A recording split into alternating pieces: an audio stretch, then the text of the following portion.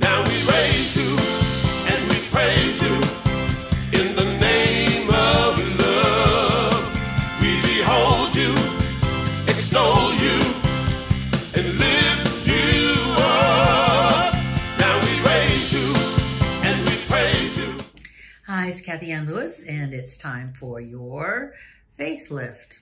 And it's a wonderful Wednesday to have a faith lift, don't you think? And today I want to expand upon an idea that I talked about on Sunday because sometimes ideas are so important they need to be expanded upon or at least heard twice.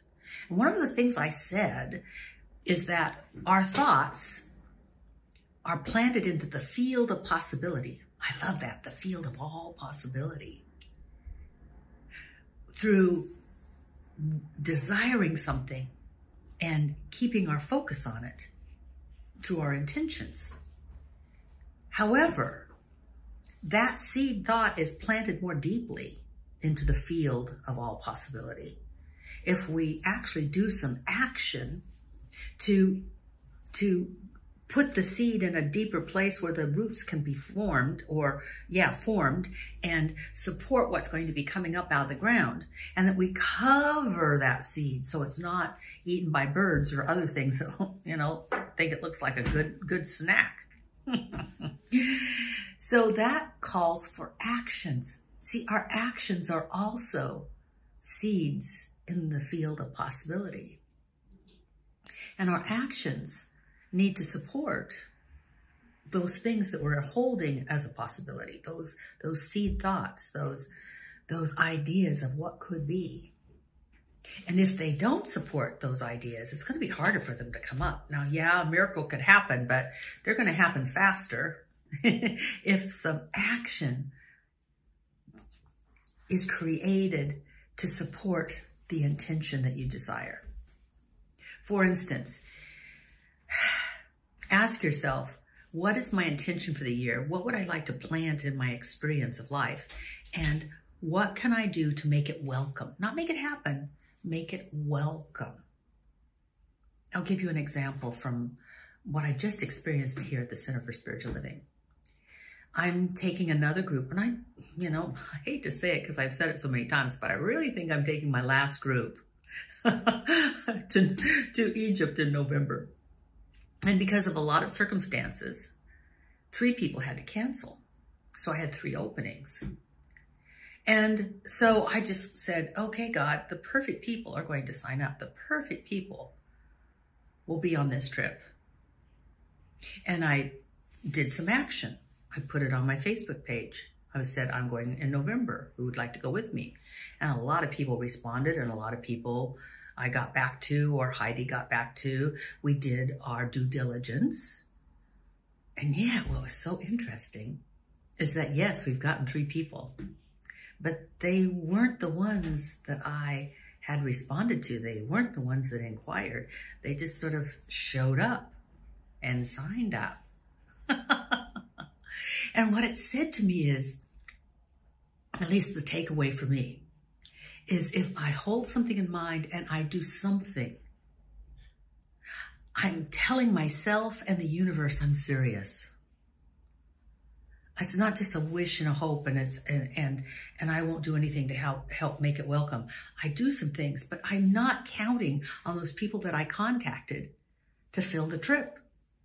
I just they asked, I provided information, but they're not the ones that called out of nowhere and signed up. This happens all the time in my life.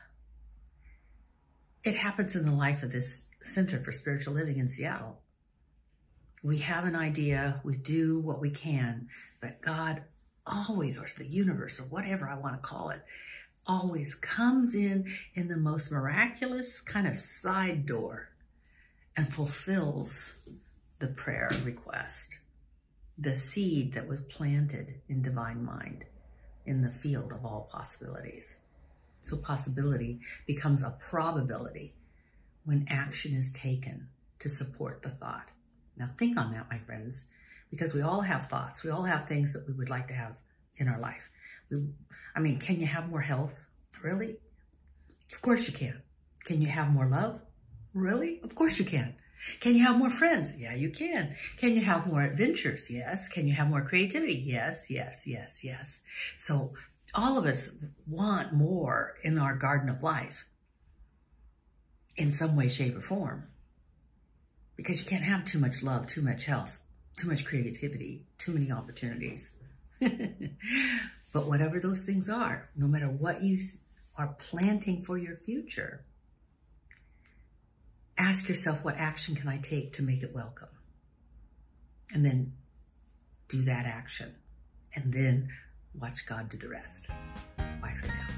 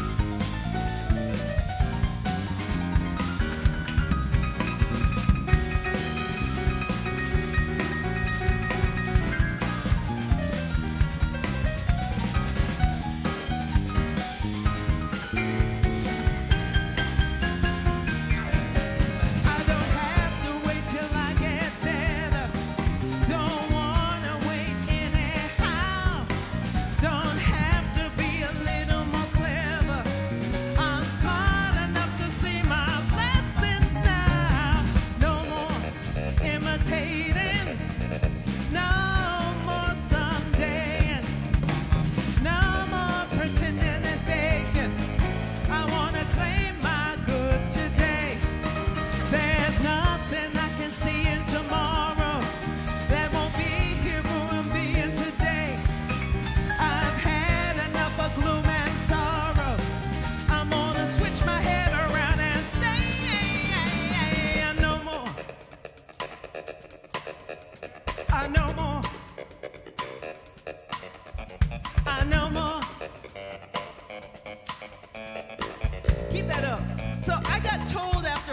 service that Emma Curtis Thompson, Hopkins, excuse me, Hopkins, like does this denial stuff, like does this no more stuff. I was like,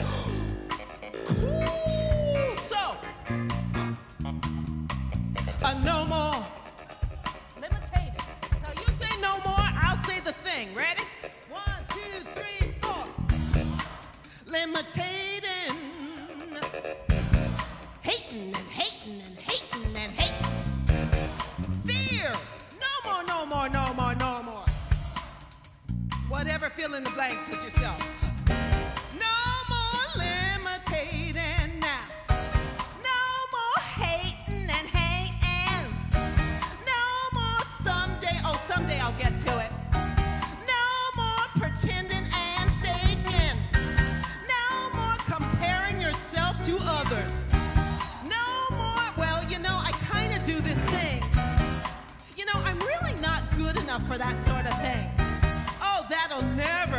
To me.